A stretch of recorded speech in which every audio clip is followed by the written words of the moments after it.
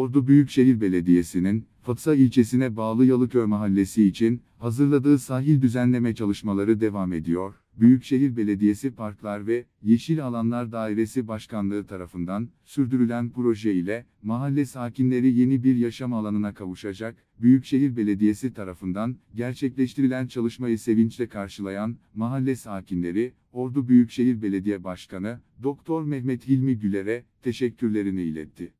Öte yandan, Yalıköy Sahil Düzenlemesi Projesi'nin kısa sürede tamamlanarak vatandaşların kullanımına açılması hedefleniyor.